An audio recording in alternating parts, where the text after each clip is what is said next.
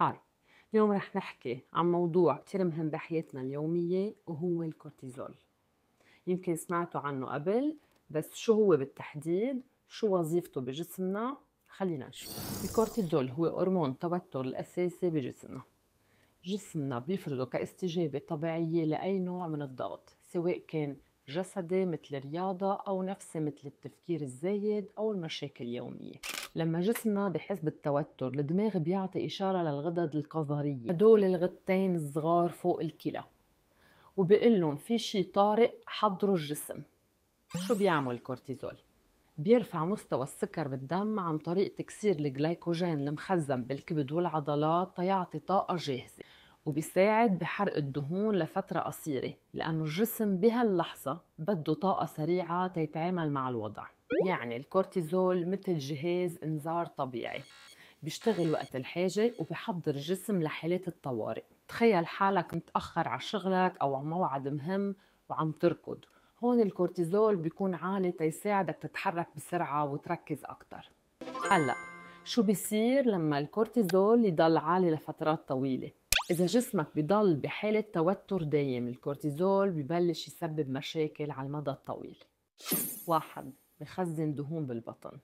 الكورتيزول بيعمل شغلة غريبة بياخد دهون من أماكن معينة من الجسم خاصة الأطراف وبينقلها لمنطقة البطن تيخزنها حوالين الأعضاء الداخلية مثل القلب والكبد والأمعاء.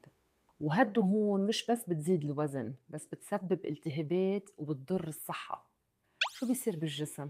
ارتفاع الدهون الحشوية بيزيد من مقاومة الجسم للإنسولين وهالشي ممكن يسبب الإصابات بالسكري من النوع 2 بتفرز مواد التهابية مثل السيتوكاينات يلي بتسبب التهابات مزمنة ومع مرور الوقت هالالتهابات المزمنة بتزيد من خطر الإصابات بأمراض القلب والشرايين.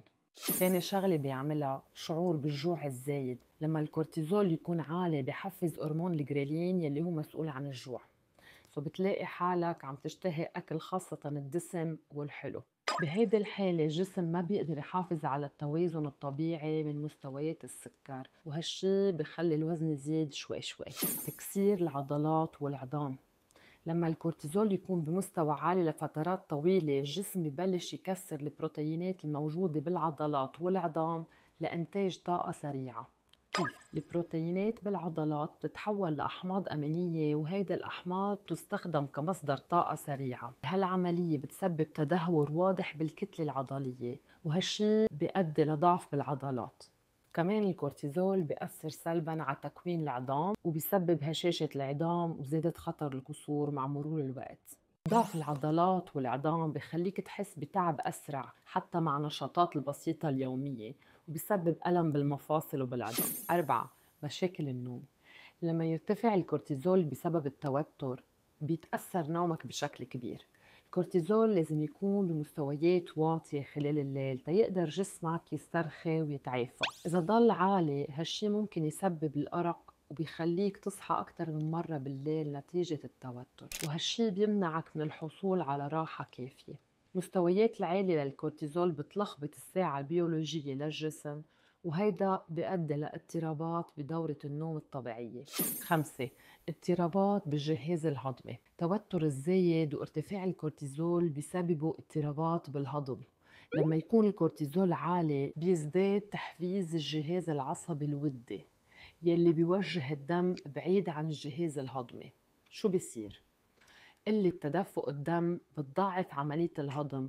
كورتيزول كمان بيزيد حمض المعدة وهالشي بيسبب حرقة المعدة وانتفاخ. كمان بيأثر على توازن البكتيريا الجيدة بالأمعاء يلي بخلي إنه تزيد مشاكل الهضم مثل الغازات والإمساك. ستة ضعف المناعة. الكورتيزول بيأثر بشكل كبير على الجهاز المناعي. بالأول الكورتيزول بيساهم بتقوية جهاز المناعة بشكل مؤقت عن طريق زيادة إنتاج الخلايا المناعية لما يكون في هونيك تهديد حقيقي. بس لما يضل الكورتيزول عالي لفترة طويلة بسبب التوتر المزمن بيصير العكس.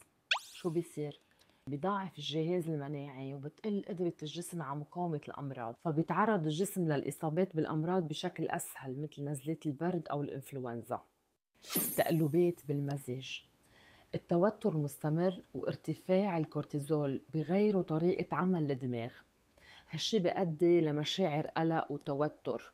الكورتيزول الزايد بيزيد مستويات الهرمونات المرتبطة بالقلق مثل الأدرينالين.